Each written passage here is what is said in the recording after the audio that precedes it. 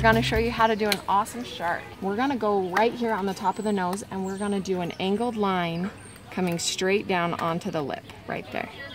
Then we're gonna catch the top and circle all the way back down underneath his ear.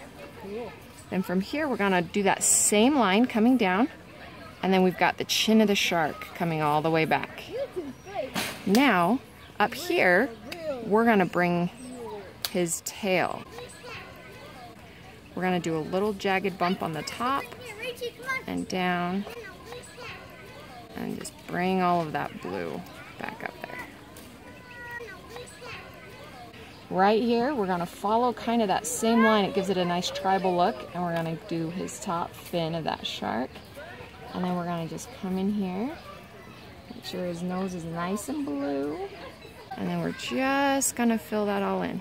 And with one stroking, it's interesting, if you go over and over, it just blends it all real nice. You don't have to follow your lines. Great, and then right under here, we're gonna add just a little extra fin. Next, we're gonna put in his eye, and we want it to be underneath that fin. So we're gonna go ahead and add a nice big eye right there. We're gonna put in some gills so that this little shark can breathe. Maybe do a little bit of the highlighting.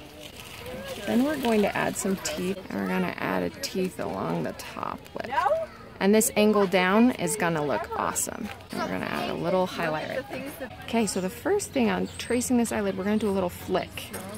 And then we're gonna come up and back around. We're overshooting just a little. And then that's gonna give us a nice crisp line. We're gonna put in his pupil right there. Give him a top lid.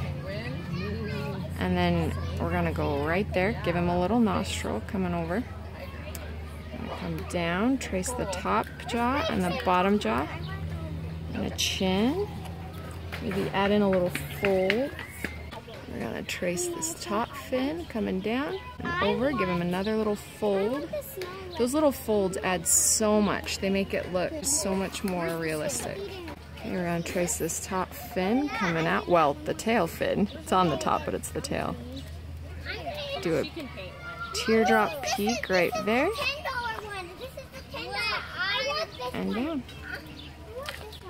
And then just drawing some lines in between the teeth. You don't have to actually trace them, but that just gives it a little extra definition.